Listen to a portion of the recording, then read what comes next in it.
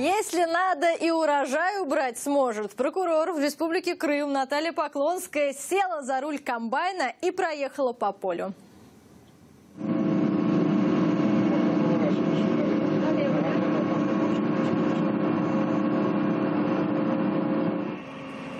Ну, неплохо у нее получается, согласитесь. Эти кадры сняты в одном из крымских сел, куда Поклонская отправилась на встречу с местными жителями.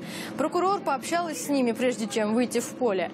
Расспрашивали ее совсем не о работе. Жителей больше интересует, как Наталья отдыхает, чем занимается вне работы, что любила в детстве. Но затронули, конечно, и больные для сельчан темы. Это нехватка техники, плохие дороги. Поклонская обещала, что поможет проблемы решить. Тем более сама побывала в их роли.